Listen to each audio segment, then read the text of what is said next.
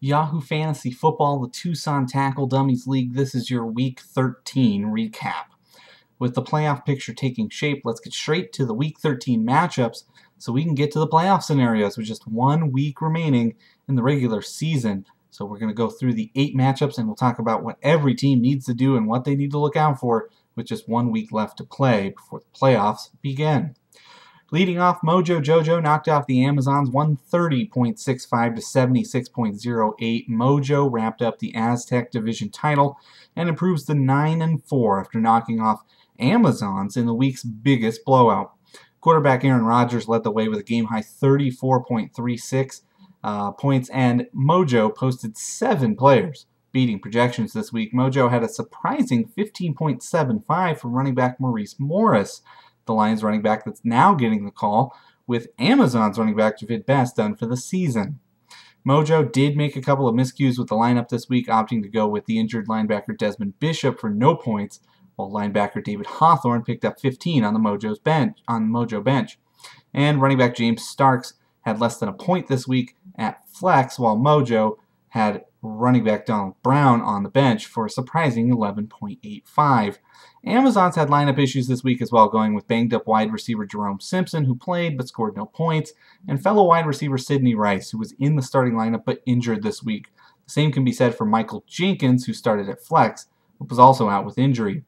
All of these injuries continue to pile up for Amazons, who also had running back Darren McFadden injured and on the bench again this week. Uh, but injured Peyton Hillis returned this week to action, scoring 9.95 points on the Amazons bench. All in all, Amazons had two players in double digits, with quarterback Matthew Stafford going for 20.87 and flex Dexter McCluster surprising everybody for 18.16 this week. But the other seven offensive players in the Amazons lineup combined for just 5.55 points this week. Amazon's falls to 4 and 9 on the year, while Mojo, who has already wrapped up the division and a playoff spot, and is the first Aztec team ever to finish with a winning record, looks to go for the number one seed next week with a win and some help. And then in the matchup of the week, What the Shell defeated Raging Boners in a close one, 159.13 to 154.52. A battle for the division crown becomes the highest scoring game of the week as Shell posts the week's highest score to hold off Boners and win the Cavs division title. Shell needed a late push by Maurice Jones-Drew, who scored 26.98 on Monday night to get Shell ahead by a narrow margin. Quarterback Drew Brees had the team high for Shell with 26.98, and wide receiver A.J. Green added 18.7. Boners put up one hell of a fight, though, getting 39.11 from quarterback Cam Newton and 22.55 from wide receiver Hakeem Nicks. Both teams dealt with disappointment on offense, though, as Shell had a terrible game from LeGarrette Blount at running back with just 1.9 points, while potential flex option wide receiver Stevie Johnson sat on the bench, scoring double digits. And Boners could have potentially won the matchup had he went with running back Ahmad Bradshaw's measly, measly 5.2 points, which tallied the bench this week over flex starter Jacoby Jones and his 0.2 points this week. On defense, Boners got an impressive 21 from the San Francisco defense and 11.5 from linebacker Nick Barnett, but opted to leave one defensive lineman slot empty this week, potentially costing the team much needed points in a close battle, while Shell got 15 points from his two defensive linemen, and the Denver defense added 13 points. Shell improves to 9 and 4 with the victory and has a shot at the league's top seed with a win and some help in week 14. Boners goes from potentially challenging for the division to ninth overall right now at 7 and 6 with the loss. And due to a lack of overall, overall scoring, Boners will need the next week to get some help in order to make the playoffs. Meanwhile, capitalizing on the Boners loss, Wildcats defeats Angry Arthritis 114.62 to 112.63. Wildcats jumps into the playoff picture in a big way, holding off Arthritis for a crucial win this week by less than two points. This week's closest matchup may have been decided by injury, as Arthritis linebacker Pat Angerer went down on the first play of his game and did not return, scoring zero points, while healthy linebacker Brian Cushing was on the Arthritis bench scoring five and a half points, more than enough to win this close game. Wildcats managed just five players above projections this week to Arthritis' seven, but got the game high with 31 and a half points from wide receiver Percy Harvin.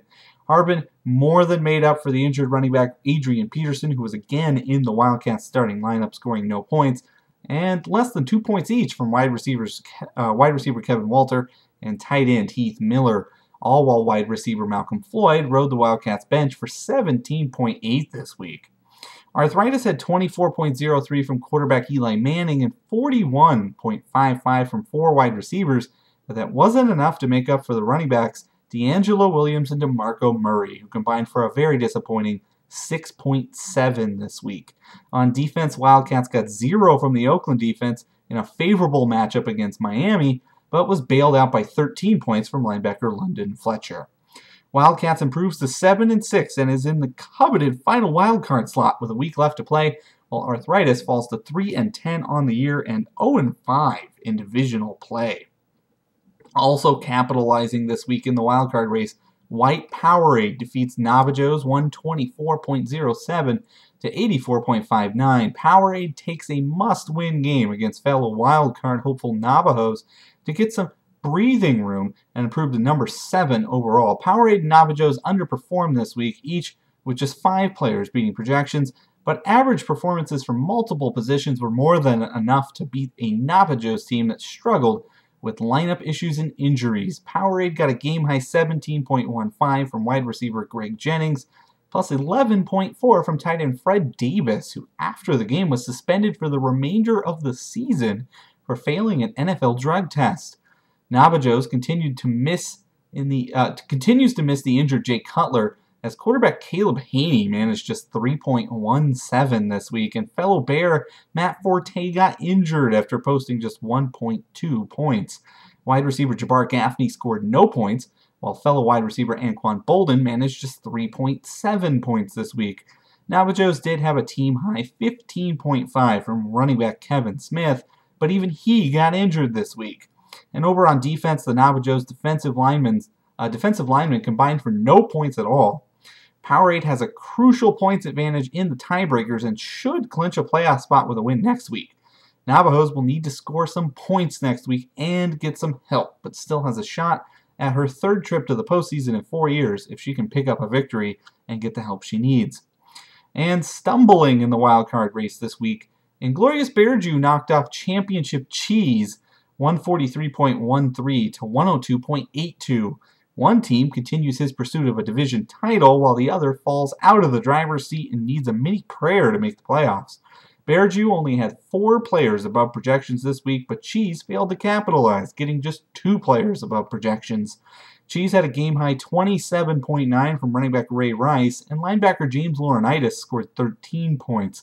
Cheese also went with rookie quarterback TJ Yates at quarterback, returning a serviceable 11.12 in his first career start. The rest of Cheese's squad struggled, with three wide receivers combining for just 12.45 points, the defensive backs combining for 3.5 points, the defensive linemen combining for the same, and linebacker Patrick Willis scored zero after getting injured on Sunday. Meanwhile, Bearju got a combined 44.3 from running backs LeSean McCoy and Rashard Mendenhall, and continued the offensive firepower with 12.4 from wide receiver Jordy Nelson and 14.68 from quarterback Matt Ryan. Bearju goes into a winner-take-all matchup for the Wildcat Division title next week, sitting at 9 and 4 on the year, and could even get into the league's number one seed with a win. While Cheese falls to number 10 in the overall standings at 6 and 7, having lost four straight for the first time in team history. And then also within the Wildcat division, Lombardi's Ghost knocked off Big Ben's Revenge 119.36 to 74. The league's top team continues to hold the number one seed by knocking off the league's worst team by 45 points this week. Big Ben wouldn't have won this match uh, wouldn't have won this matchup if all of his bench scoring was added to his starter scoring this week, as lineup issues again sunk this ship. Quarterback Curtis Painter didn't play, and six other players scored zero points, meaning Big Ben only scored points with nine players this week, led by 16.6 from wide receiver Michael Crabtree. Lombardi held serve by getting 35.46 from his Brady to Welker combination, plus 17.2 from tight end Jermichael Finley, and 16.39 from running back Darren Sproles. which made up for the fact that Lombardi had seven players that scored fewer than three points this week, while leaving 15.37 from running back LaRod Stephens Howling and 16 from linebacker Clay Matthews on his bench. Lombardi will lock down the number one seed with a win next week, but a loss would drop this team all the way to number five. So there's a lot left to play for, while Big Ben remains dead last at 3 and 10 on the year, but a win could move this team ahead of a couple of others with some help next week. And then in the Toro division, AZ Chargers knocked off Greek Thunderball 158.76 to 122.36. AZ Chargers clinches a playoff berth and controls its own destiny in regards to the Toro division title after knocking off Greek this week. Greek posted his highest score since week 5, getting 20 from the Pittsburgh defense, 16.95 from running back CJ Spiller, and 19.2 from running back Roy Helu, plus 15.79 at quarterback with Ben Roethlisberger. But again, lineup issues caused an issue as the starting defensive lineman combined for zero points, and Greek went with the injured Jeremy Maclin at flex for zero points, while wide receiver Pierre Garcon went for 29.25 on the bench, and wide receiver Andre Roberts added 12.6 points on the Greek bench. AZ Chargers would have likely held on regardless of Greek's decisions thanks to 25.85 from tight end Rob Gronkowski and 24.86 from quarterback Philip Rivers. Six offensive starters beat projections this week for AZ Chargers, who got a, uh, got a combined 51.2 from four wide receivers this week. AZ Chargers improves to 9 and 4 on the season and still has a shot at the league's top seed with a win, but must win next week to keep a hold of the still unclaimed Toro Division title, while Greek has lost 5 straight and sits at 3 and 10 overall. And in the final matchup of the week, Mustache Discount knocked out Viva Football in a close one, 157.23 to 150.2. Mustache keeps their Toro Division title hopes alive by holding off a strong Viva team this week in a close contest. Viva could have pulled off the upset here, but defensive lineup miscues would be the downfall for a team that had seven offensive starters above projections. Viva went with the Buffalo defense for a point, while the Kansas City defense rode the Viva bench for 24 points. Defensive back Cassius Vaughn started for Viva despite being on injured reserve, while defensive back Eric Smith scored 8.5 points on the Viva bench, and defensive lineman William Hayes scored no points at all for Viva, while on the Viva bench sat defensive lineman Brett Keisel and 3.5 points. All of these letdowns negated a great offensive day for Viva, getting four players above 20 points, including a game-high 30.15 from running back Shonn Greene.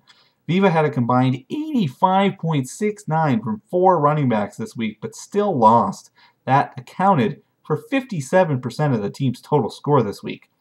All the while, Mustache had just five players beat projections, but got 34.38 from the Romo to Bryant combination, and combined for 66.55 from his four running backs this week, led by a team high 27.95 from running back Chris Johnson. Mustache had zero from the Cincinnati defense, eh, but rallied with 12 points from defensive lineman Jabaal Sheard. Mustache improves to 8 and 5 and is a virtual lock for the postseason regardless of what anyone else does next week, win or loss, and has a shot to win the Toro division if AZ Chargers goes down next week. Viva slips to 4 and 9 on the season. Looking ahead to week 14, the final week of regular season play, every matchup is going to mean something next week, whether it be for the wild card or for division races. In the Wildcat division, Bearju faces off with Lombardi in what will probably be the game of the week, as the winner will take the Wildcat division crown. AZ Chargers will take on Viva Football, and Mustache Discount will take on Greek Thunderball. AZ Chargers and Mustache will be deciding who takes the Toro division next week. And Mojo will take on Powerade. Uh, Shell will meet Wildcats. Boners meets Arthritis. Cheese meets Big Ben, and Navajos meets Amazons. In the Mojo versus Powerade matchup, a Mojo win could get that team a number one seed going into the postseason. Powerade needs a win badly in that wild card race. Could still get in with a loss, but definitely would prefer to go in with a win. What the Shell taking on Wildcats. Shell's wrapped up that division and could go for number one in the league overall, while Wildcats needs a victory in that wild card race to keep a wild card spot. Boners takes on Arthritis. Boners would need a win and a little bit of help in order to jump back into the playoff picture, but a win would go a long way towards doing that. Championship Cheese taking on Big Ben. Cheese is going to need a win plus some help just to get to 500 and still has um, a legitimate, although long shot, hope at making the postseason. And Navajos has probably the longest odds of any of the teams still alive, but still mathematically has a shot, but has to take on rival Amazons in the final week of the season. Breaking down the playoff picture in full, looking ahead, Lombardi's Ghost is the number one seed as it stands right now and has a game advantage on any team at 9 and 4, uh, considering this team's already at 10 wins. So a win would lock down the number one seed, but a loss, considering it would be to Inglorious Bearju, would drop this team to number 5 in the standings. So this team could drop uh, significantly with a loss. Number 2, What the Shell, a win could mean potential number 1 if Lombardi loses next week, um, and a pretty good shot at number 2 regardless but a loss could drop this team to number four in the standings. AZ Chargers, a win could claim uh, a win would take the Toro division for this team, um, and this team actually still has an outside shot at the number one seed, while a loss could drop this team as low as sixth in the standings and cough up the team uh, the chance at the Toro division title. Number four, Mojo leads the Aztec division. A win could get this team as high as number one, while a loss could drop this team as low as number 6. Actually, it would be number 4, sorry. Uh, number 5, Bearju, a win uh, would take the division for this team. So this team could go from highest wild card to highest ranked team. Actually could get this team into the number 1 slot, while a loss likely means this team stays 5th. Number 6, Mustache Discount, a win could mean the division crown with some help. Could get as high as number 3 with that. A loss could drop this team to uh, 6th, 7th, or 8th. Could stay at 6th, could drop to 7th or 8th, but has a significant points lead over the other teams in the wild card race, so this team's a virtual lock for the playoffs already, regardless of a win or loss next week. Number 7, White Powerade, holds the points advantage on all the other wild card hopefuls at 7 and 6, and really all the other wild card hopefuls, period. Uh, so this team is a virtual lock regardless of what other teams do. However, loss and wins by Wildcats and Boners would mean this team is out just based on record. Number 8, Wildcats holds about a 45 point lead on Boners, so a win should mean a playoff spot barring a big game for Boners. But a loss could be devastating as Cheese holds a points advantage at the moment, and with a win could move ahead of Wildcats, and a loss with uh, Boners and Powerade loss would mean that this team, uh, with a Boners and Powerade victory, would mean that Wildcats would be done. Number nine, Boners lacks the points advantage, would need to win and get some help in the points category, um, but could get in if uh, Powerade or Wildcats loses and this team wins. Um, a loss would mean a likely elimination due to the lack of points. Number 10, Championship Cheese needs a win and some help. Two of the three teams at 7 and 6 have to lose for this team to even have a shot. Then this team needs to be ahead on points, uh, which means the team has to win, obviously, but also needs to make sure they score a lot of points next week. Uh, they hold a close advantage on points with Wildcats and a more comfortable advantage on Boners in the points category, but likely won't get an advantage on Powerade um, because of the difference in points going into the week. And your last team uh, with a shot, number 11 in the standings, Navajos, is alive mathematically but has the fewest points of all the wildcard contenders. This team has to win for a shot, and then we'll need at least two of the 7 and 6 teams to lose, and we'll need to outscore anybody who does win by a large margin to make up some, some ground. So uh, either way you slice it, we've still got 11 teams fighting for 8 playoff spots uh, with the final week of play approaching. So don't forget there is a game on Thursday, and uh, definitely check out the Facebook page all day Sunday as I hope to be there updating everything in real time, letting everybody know where their team stands as everything boils down in the final week of the regular season. So we hope to see you back with your Week 14 recap and a playoff uh, preview as we head into Week 15 action um, after this exciting conclusion to the to the Tucson Tackle Dummies Yahoo Fantasy Football League.